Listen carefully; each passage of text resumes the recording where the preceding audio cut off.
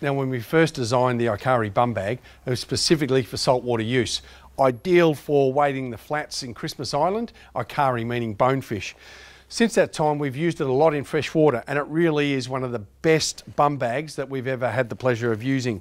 Most of the time, it's uh, around the back, uh, but it still gives you access to a couple of little um, pigtail holders, which you might have your forceps, hook releases, and if you need some more, you literally just slide it around. You've got access to everything you need. I think the benefit here is that um, you have a large fold down, like a fly drying area, which is ideal for a lot of your, your fresh or saltwater flies. You've got quite a big area here, which you can fit large fly boxes or even your lunch, whatever you needed in that.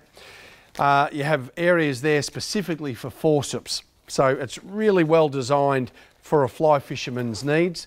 Uh, another holder that you might fit, you know, perhaps some nymph boxes, or they could be uh, various sizes for other other flies. Could even be your, your, little waterproof camera. Whatever you want to put in there is going to be ideal. Again, the zingers are ideal, uh, and then a couple of little areas. I actually put a lot of my tippets in the front of the uh, little uh, zippered area there, keeps them out of the way, and a, a drink holder as well. So uh, everything you need uh, whilst not being heavy and not having a lot of um, material around you. So you're going to stay light and uh, not get too hot. And it also comes with a strap. If you really load that up, it helps support the weight of it as well. So the Ikari bum bag, one of the best you're going to find.